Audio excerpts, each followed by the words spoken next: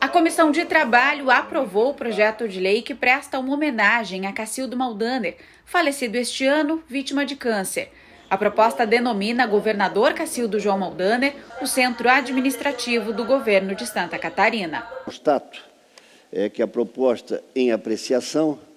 não contraria o interesse público na medida em que busca homenagear o ilustre catarinense, ex-governador, ex-senador, ex-prefeito Cacildo João Maldaner. O colegiado também aprovou a proposta que institui o Dia Estadual do Terceiro Setor a ser comemorado no dia 31 de julho o projeto é um reconhecimento a todas as iniciativas privadas de utilidade pública com origem na sociedade civil. Constato que a proposta em apreciação é oportuna e conveniente ao interesse público, na medida em que busca homenagear as entidades da sociedade civil com fins públicos e não lucrativos, com foco no voluntariado do Estado, reconhecendo e valorizando essas instituições